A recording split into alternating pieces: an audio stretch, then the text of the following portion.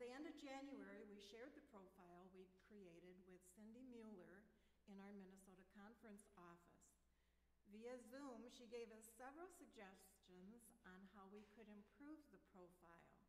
She also impressed on us that there were 15 other UCC churches in our conference seeking a pastor, and there were very few qualified candidates actually available. As we set to revising the profile with Cindy's suggestions, we discussed how very fortunate we were to have had such a good candidate in our own midst.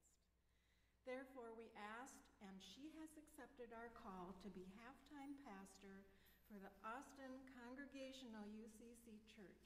Oh, and I'm honored and proud to announce our settled pastor candidate is Elizabeth O'Sullivan.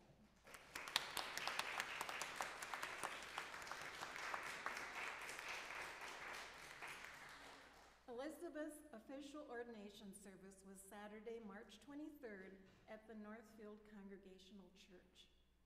We will be in contact with the conference on how to move forward, but I do know there will be a congregational vote to accept Elizabeth. Uh, I believe that's April 28th, uh, the last Sunday in April. So please mark your calendars. We need you all here to vote. Also, Elizabeth will continue in Medford as she has, and that church has agreed to move their service to 8:30 so that our service can adjust to 10:30. If there's any questions, please feel free to contact me or the church office and we'll try our best to resolve them. Thank you.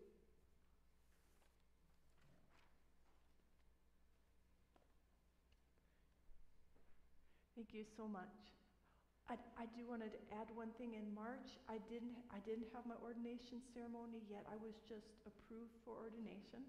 But what that means is there's going to be another party for the actual ordination, and, and you guys will be invited. So keep, keep your eyes out and looking maybe early June. Carol?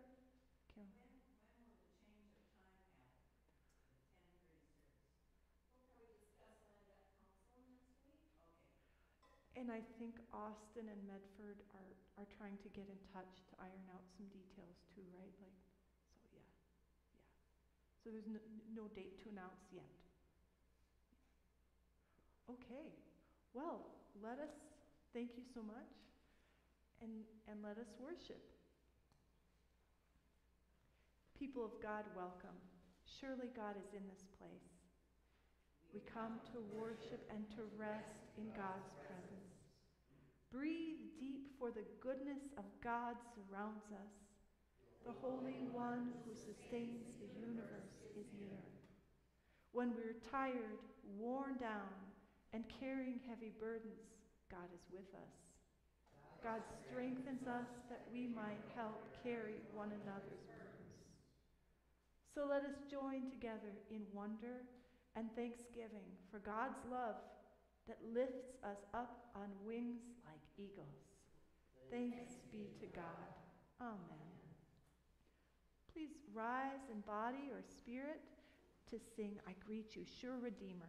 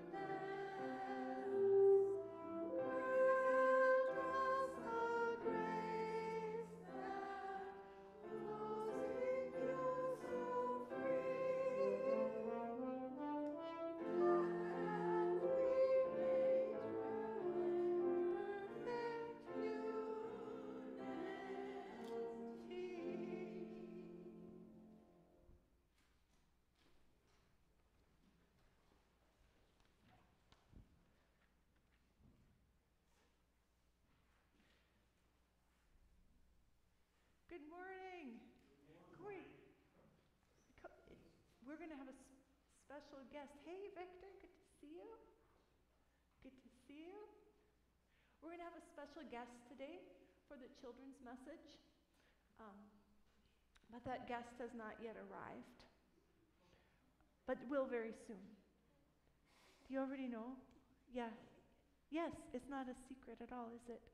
It's not a secret. Okay, it's just going to be a secret, like what she actually looks like when she shows up, then, because you know the basics already. Okay, so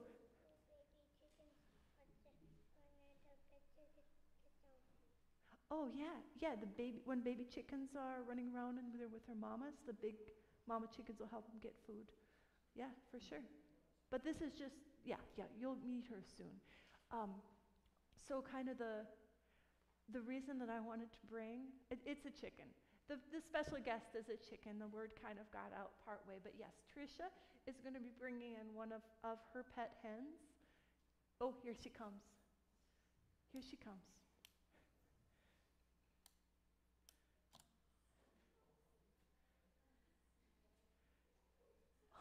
She's so nice. Yeah. Yeah.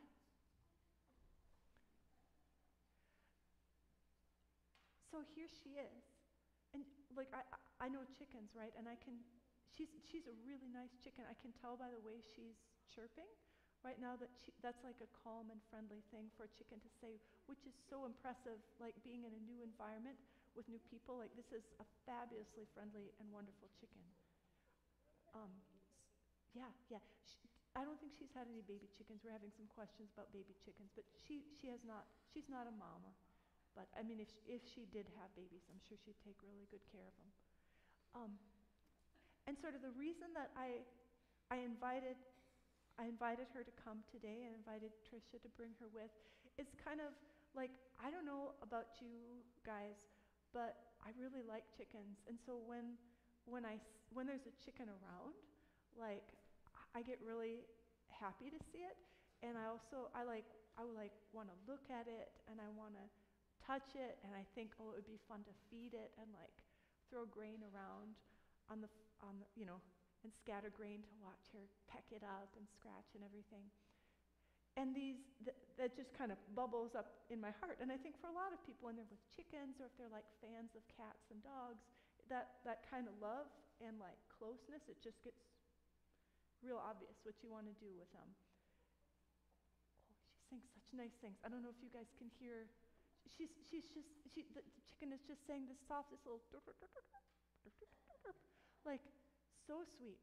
Um, the scripture that we're going to read today is um, when Jesus, it's, it's after the crucifixion, it's after the resurrection, and he's appearing to his disciples. And he's, the things he's asking them to do when they're together is like look at him, like touch him, like share a meal with him, like feed him.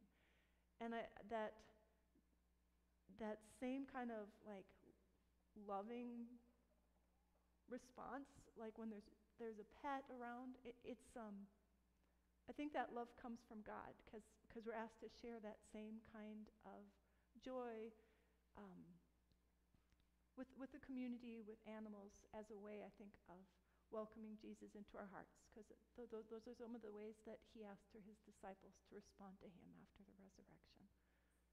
So, yes, so um, would would any, if if anyone would like to touch her, you're invited. We can go real slow and gentle. I mean, she's she's small.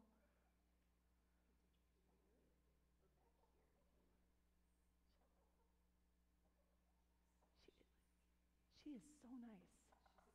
Oh, a little bit, a little bit. That was a little more distressed. That was a little bit rough. Okay. You are such a nice chicken. She got a little nervous. Okay. Okay.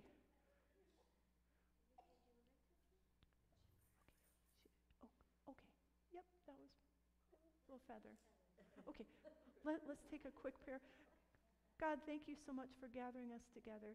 Thank you so much that, um, that Trisha's chicken could visit us And please keep that love coming up in our hearts, that desire to connect and share, share food together, um, so that we can greet you and be close to you in all of our interactions with people and everyone we meet cats, dogs, chickens, birds, everything. Thank you so much. Amen.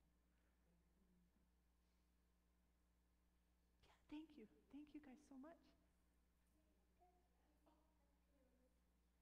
Did you still? I'm so happy to meet her. And let's let's let's collect for the food shelf for the backpack project.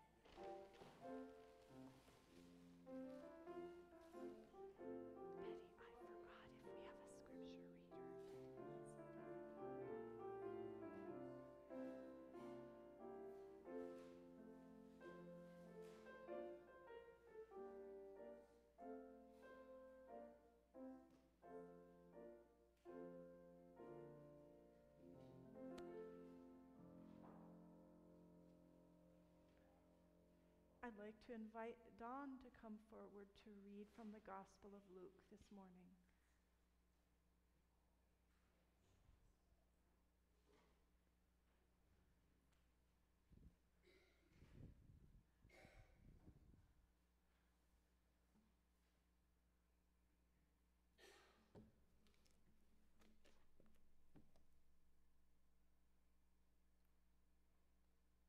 Please bear with me, I'm getting used to some new glasses, so I'll have to, I'll do my best. Is this on? Yeah, yeah, I think so. We're reading from Luke twenty-four, um, verses thirty-six through forty-eight. While they were talking about this, Jesus himself stood among them and said to them, Peace be with you. They were startled and terrified and thought that they were seeing a ghost. He said to them, Why are you frightened? And why do you doubt they rise in your hearts? Look at my hands and my feet. See that they that that is myself. Touch them and see for the ghost does not have flesh and has be- bones as you will see I have.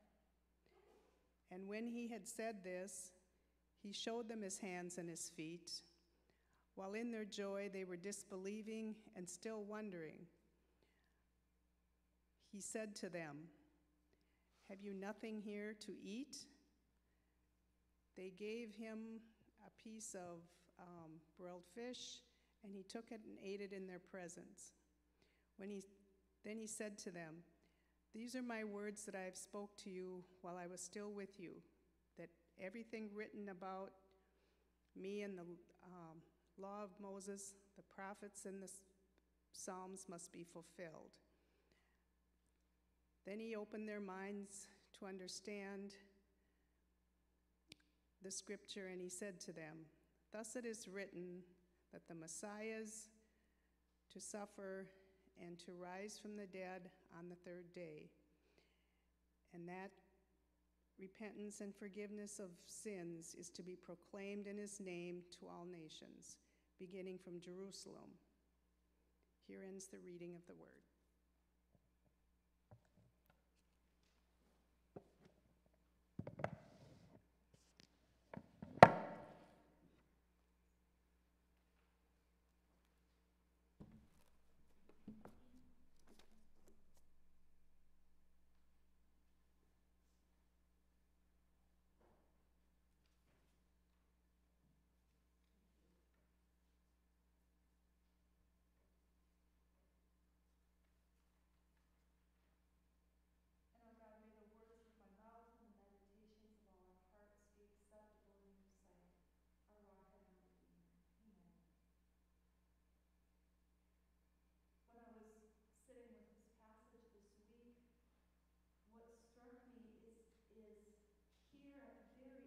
The gospel. Like in this moment, it's, it's, there's a few more passages afterwards, but this is really like wrapping it up. Um, what's going on in this passage is that Jesus is rooting people in relationship first in this, uh, in this introduction where they're responding to him as he is appearing to them after the resurrection. And he's saying things like, Peace be to you. Why are you troubled? Like, look at me, touch me, share some fish. Do you guys have something to eat? You know, he's, he's rooting it in this relationship before sharing with this, the, before sharing this powerful call and vision, which comes at the end of what we read, which is look, this is the culmination, this is it, and you're called to go out and share it from here. So, this balance of rooting in relationship, relationship with Christ, relationship with other people, happens to balance out this powerful, powerful vision and mission that's shared at the end of the passage. So I've been, I've been holding this passage, holding this kind of picture of the balance of the relationships with this powerful vision. And I was doing some work on my laptop, trying not to get distracted, but I was getting a little distracted. I'd looked at Facebook, I shouldn't have done it, but I switched back and I was trying to get my focus back and for reasons I still do not fully understand, the, my computer started talking to me. It, it, it was a male voice telling me a story. I, I do not know why. And I was like, look, okay, I just got my focus back. I need to do the work. I was going through each and every tab trying to figure out what was going on, make it stop. I couldn't. And, um, and by this time, I'd gotten quite interested in the story. so, so by the time I figured out that for reasons that are still unclear to me, there was some like thumbnail thing behind all the other work I was doing, sharing with me a video for reasons I don't understand. By the time I figured that out, like I was hooked. And I will, I will share with you now what this gentleman was saying. It was a comedian, I, I believe his name was Chris Knight, and he was talking about how he felt such a powerful um, understanding that he was to be a comedian. Like it was so clear, he was so confident, and he got a break. He was going to do a 30 minute show for HBO. This was going to be it, right? Right? His, his one chance and he was putting his heart into it. He was so clear, so confident. And 20 minutes into the 30 minute set, this booming music started shaking the floor. They, they were over a nightclub of some kind where they were filming this. And like he could hardly hear himself. He was upset. He was starting to forget what he was going to say. No one could hear him. And it ended, and he was livid, just livid, because he had something to give. And it had been ruined. And he didn't think he was going to have a chance like that come again. It was like the whole rest of his life now was sort of in question. And he was so angry. He spoke to the people who were, um, you know, who were filming, who were, who were putting on this HBO show. He was not a prominent person in show business at all, but he took them to task. He was saying, How could this happen? Like, who is responsible? This, this was supposed to be this way. And they said, Look, it wasn't us. It, it's this, it was nightclub. Like, we didn't turn on that music. It's the nightclub. And look, the, uh, the nightclub owner is, is right over there. And they, they sh- it was an older gentleman. He was getting into a Ford Taurus. The only thing on this comedian's mind was, was what had happened. And he went over and was, he was yelling at the gentleman in his vehicle. He pounded on the vehicle, and the gentleman did what I would hope most reasonable people would do in a situation like that. He looked and drove away. ah, so the comedian came back in and was, was still trying to work it out with the people um, doing the HBO special. And then the gentleman showed up again, flanked by two really enormous and tough looking men, and pointed at the comedian and said, Hey, come, come with me. the people who were, all the rest of the people there, the people from HBO were like, don't, don't go. don't do this. But the comedian was so focused on his vision that he went. He went, he followed the older gentleman, the two huge men, into a kitchen in the nightclub. The door was shut, and he was explaining. He was, he was using some bad language. He was telling this gentleman how he'd, he'd ruined this thing with this music.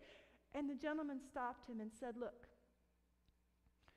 your friends lied to you when they said it was my fault. We had a deal that I was going to delay my plans for the night for my business. They were going to pay me to make up for this, and they never did. And in this moment, all of a sudden, the comedian could see that the man was telling the truth and that he was locked in a kitchen. and he said, Look, Sir, I, I, I owe you an apology. And for whatever reason, that music playing when it did, I think it ruined my life. And the gentleman looked at him with sympathy, softened, and came and patted him on the cheek and said, You know, you're a real man. Opened the kitchen doors, and the, the comedian went back out, and the, the HBO people were like, You know that you were yelling at the Russian mafia just now. Um, so he went home and thought about it. And he thought about it. And the thing that he was taking away from this was the power of this vision that he was holding. This power, this vision that he was meant to be a comedian, that this was how it needed to be, that he was confident in what he had to offer. And he thought about other people in his life, people he'd grown up with. He said some of them did not have a good vision. And they followed it and did not do well. Some of them had a very good vision, but had kind of been pulled aside from their vision, and it had been hard.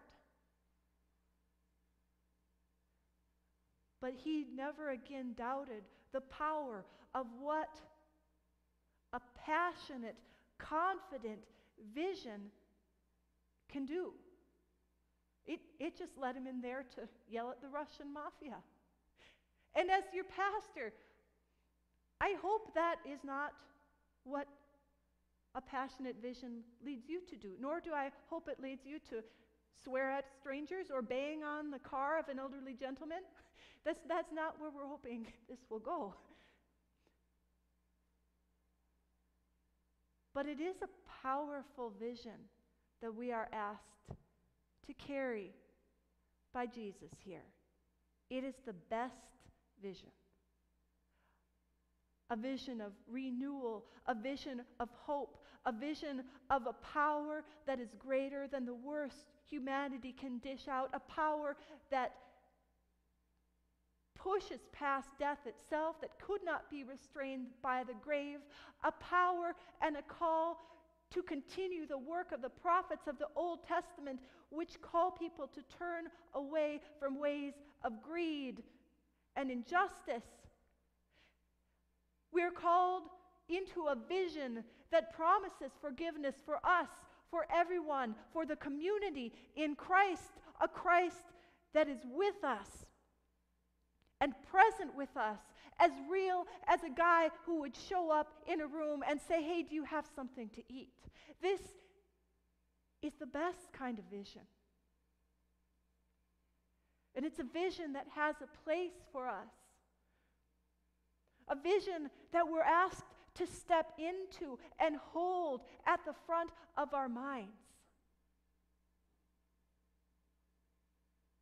After that, after that talk that um, I heard quite accidentally, I found I kept thinking about it as I was washing the dishes, as I was getting the service ready, as I was thinking about plans for my family, when I was getting crabby, and that question kept popping to mind what is your vision in this moment?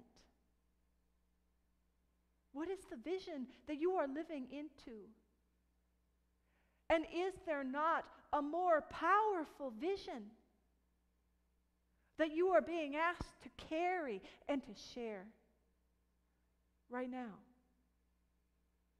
And I tell you, it changed washing the dishes. It changed thinking about my family. It changed preparing the service whenever that popped to mind.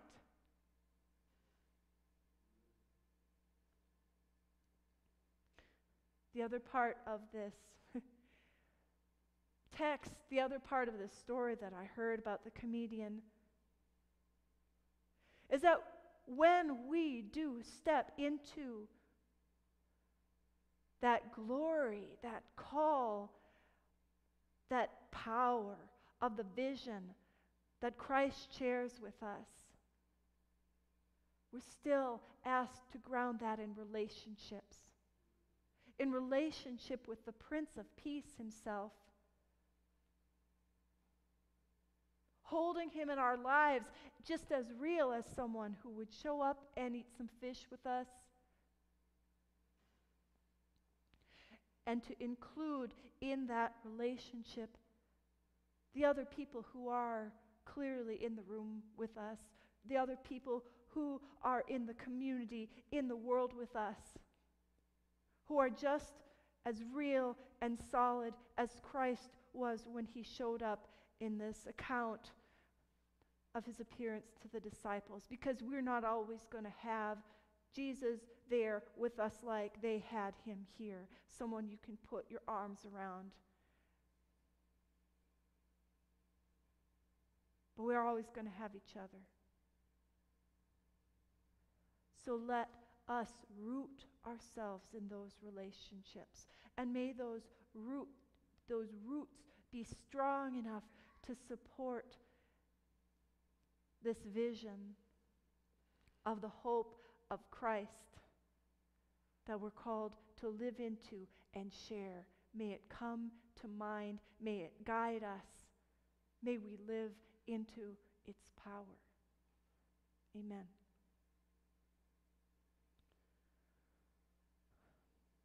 Let us sing.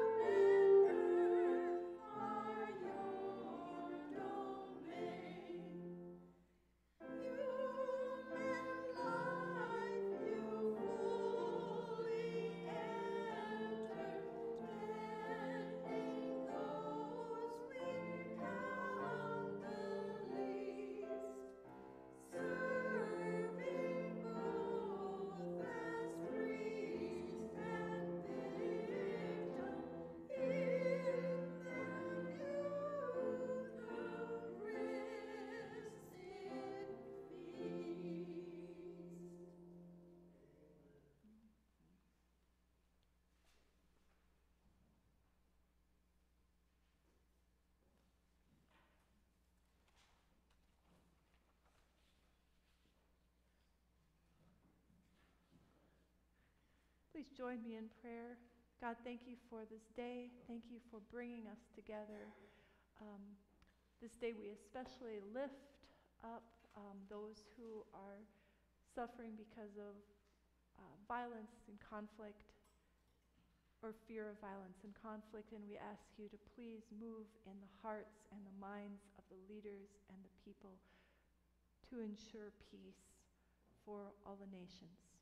If there's something you'd like us to do, please show us what it is. This morning, let us lift up the names of, of those in our, our bulletins. This morning, we pray for Chatu, Sarah, Dan, Joe, Matt, Savannah and Aria, and all advocates of justice, kindness, and humility.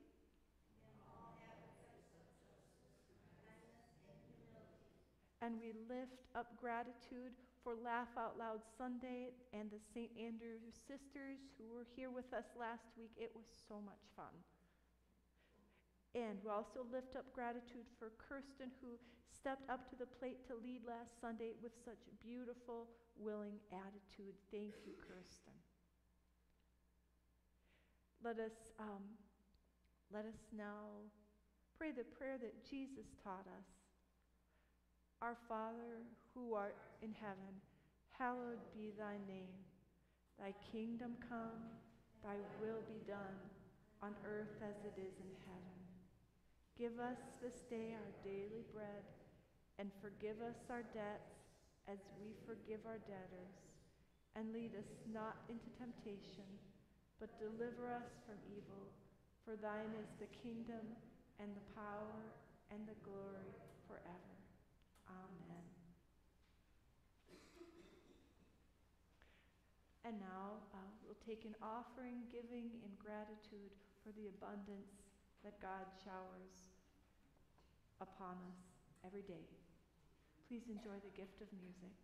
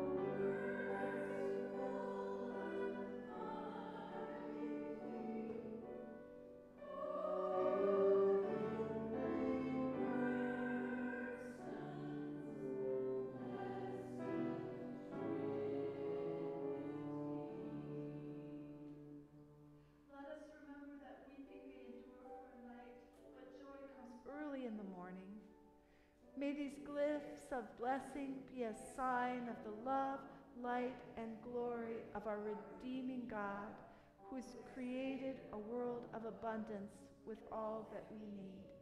May we remain thankful witnesses to your generosity, O God. We dedicate these offerings to you and your beloved creation. Amen.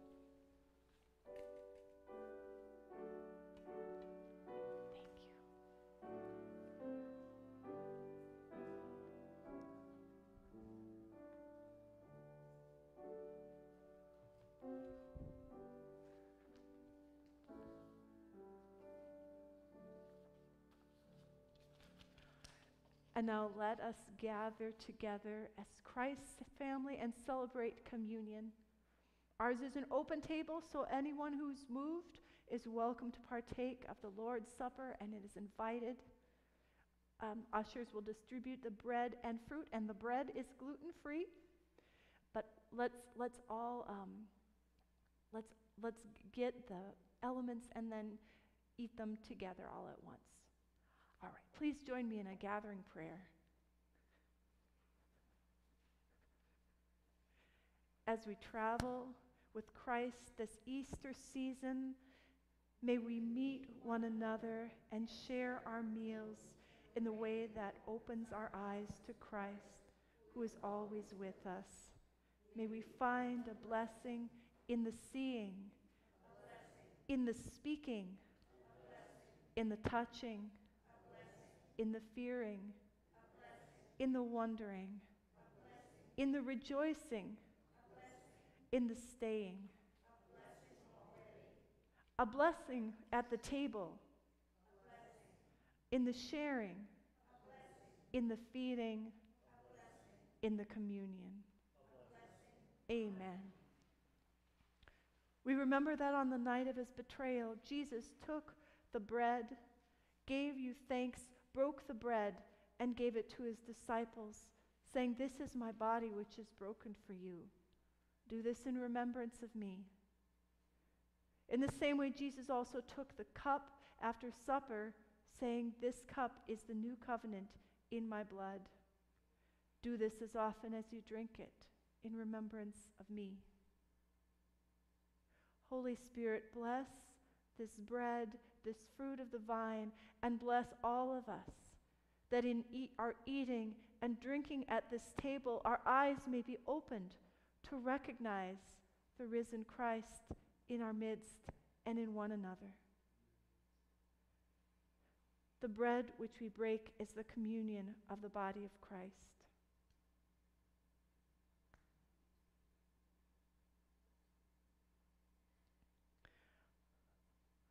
Cup of blessing which we bless is the communion of the blood of Christ.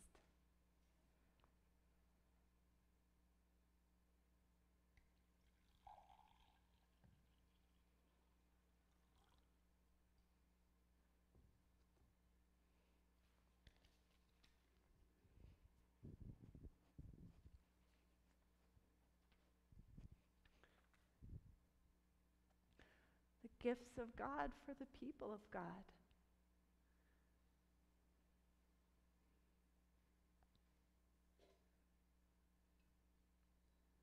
Come, for all things are ready.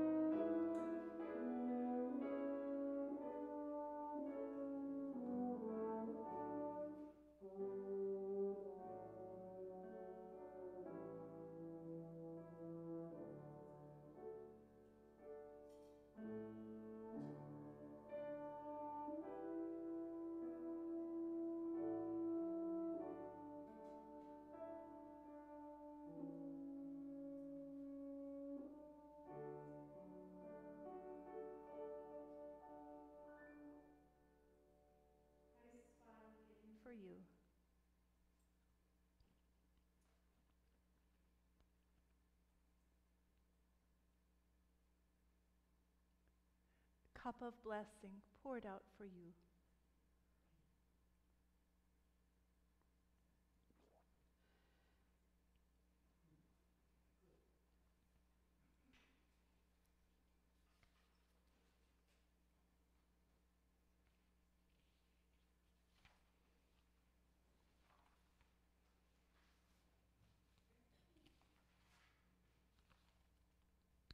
We put our trust in you.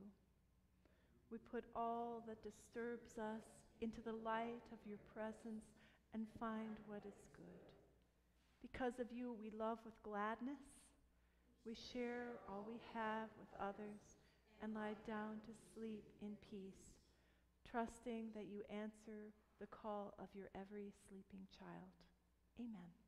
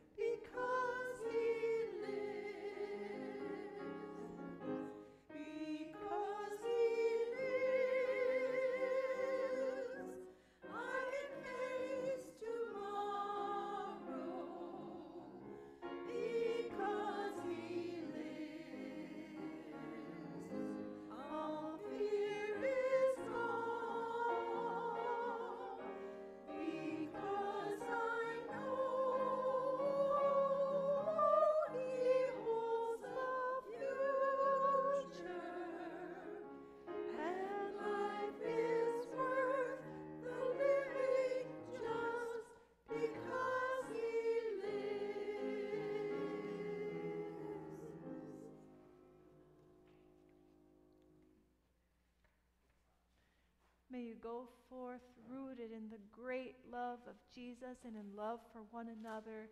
And may you go forth with the powerful vision and the hope of the resurrected Christ right in the front of your mind, guiding you. Amen. Please join me in the sending verse, Micah 6 8. What does our still speaking God require? To do justice, to love kindness, and walk humbly with our God. Amen.